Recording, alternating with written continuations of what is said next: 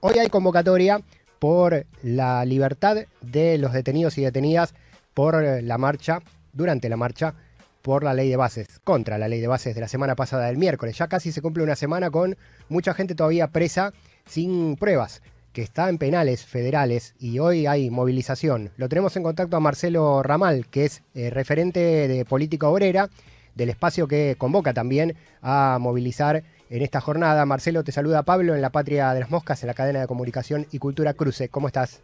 ¿Qué tal, Pablo? ¿Cómo estás? ¿Cómo te va? Bueno, gracias por atendernos. Hoy convocan, hoy van a estar en la calle nuevamente. Sí, sí, por supuesto. E, esta convocatoria eh, va a tener la, la presencia y el protagonismo de los familiares eh, de quienes están detenidos o, procesados. Y, bueno, lo que estamos defendiendo es, en primer lugar, la situación de quienes efectivamente hoy no solo están detenidos, sino que están en cárceles federales. Eh, es decir, tratados con, con la pretensión de eh, dejarlos detenidos eventualmente hasta que se constituya un juicio, lo cual, digamos, es una enormidad, es casi una condena anticipada eh, con quienes simplemente fueron objetos de una cacería policial, en su enorme mayoría bastante lejos del propio Congreso donde tuvo lugar la marcha del día del día 12. Mm.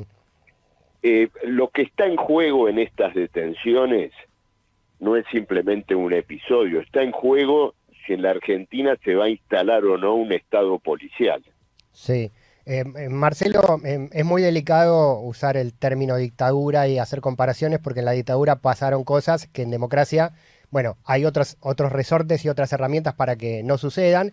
por ejemplo, el Estado de Derecho donde abogados pueden apelar y sabemos el paradero de las personas, pero discursivamente no encontrás una consonancia demasiado preocupante y peligrosa, digo, el discurso de sos terrorista porque salís a marchar, querés hacer un golpe de Estado o sos subversivo o sedicioso. Estamos al borde de eso, penado con cárcel, sin juicio previo y sin pruebas, ¿no? Es todo muy, muy similar. Evidentemente ante la tentativa eh, de establecer, digamos, un régimen que por decreto, directamente desde el Poder Ejecutivo, eh, ordene la represión interior este, sin eh, eh, ni siquiera el resguardo judicial. Eh, tengamos en cuenta que a pesar de que la jueza Servini de Cubría liberó a 16 de los detenidos, bueno, el fiscal Stornelli, que es el que encabeza esta escalada en la justicia, apeló esa decisión y pide que se los vuelva a encarcelar. Estamos con... Este, es decir, que estamos ante una eh, eh, acción de características implacables eh, que se quiere llevar hasta el final para dejar establecido una especie de escarmiento o de acción represiva ejemplificadora sobre las futuras manifestaciones que tengan lugar. Totalmente. Bueno, con la mirada puesta en la, en la movilización de esta tarde y en la respuesta de la justicia. Charlamos con Marcelo Ramal, dirigente de política obrera. Eh, Marcelo, sos economista también, tenés expertise en, en ese tema y bueno, eh, la urgencia del el pedido de libertad de los detenidos y detenidas nos sacó un poco del foco de lo que representó la aprobación de la ley de bases con sus modificaciones en el Senado en términos sociales y económicos, ¿no? Eh, ¿Cómo ves lo que sigue en la Cámara de Diputados con la posible vuelta al proyecto original, que era todavía mucho más amplio de lo que salió del Senado? ¿Qué viene con eso? Sí, es posible que, se insista eh, con el proyecto original, en ese caso barriendo con los acuerdos eh, que el gobierno estableció o formalmente dijo establecer con los senadores.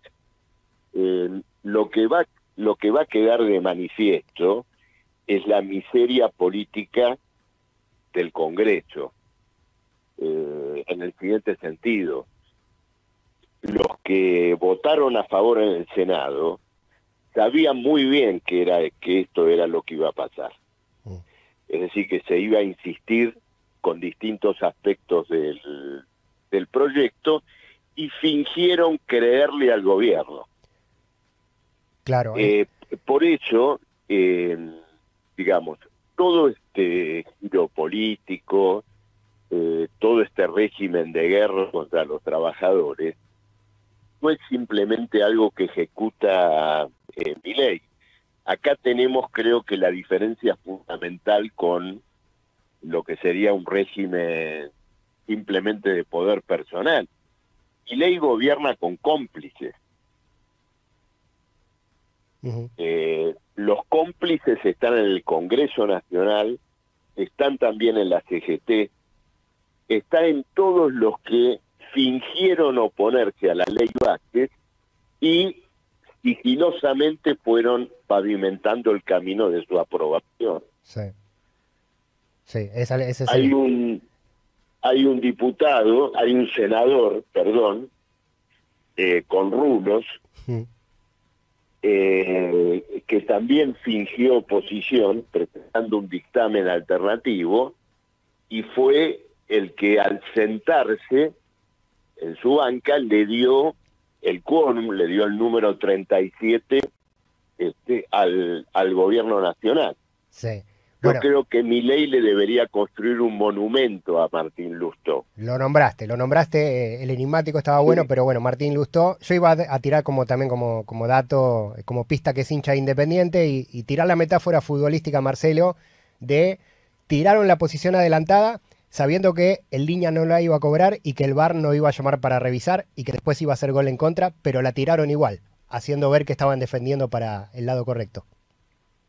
Sí, sí, sí, sí, efectivamente. Es decir, un, un, partido de fútbol con cartas marcadas. Totalmente. Y lo que no salga en, en diputados, o lo que salga a disgusto de mi ley, luego va a ser vetado.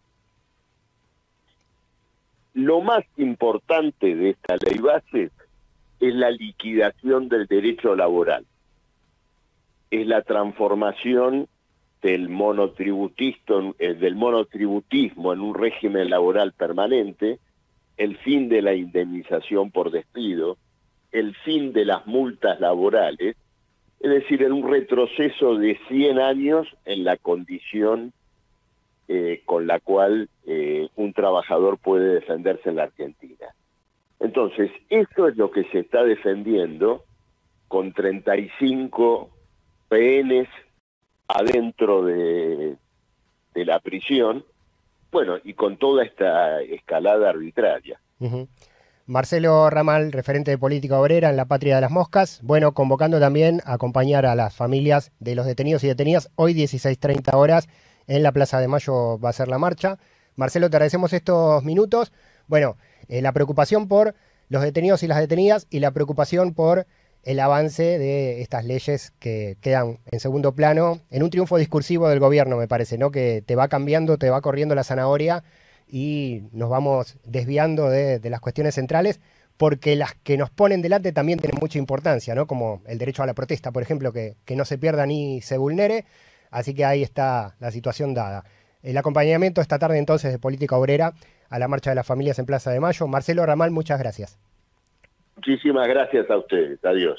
Ahí pasó el dirigente de la izquierda, Marcelo Ramal, economista de política obrera. Bueno, se sumaron a la convocatoria con un comunicado que acaba de emitirse recientemente para pedir por la libertad de los detenidos y las detenidas del pasado miércoles en la marcha contra la ley de bases en Congreso.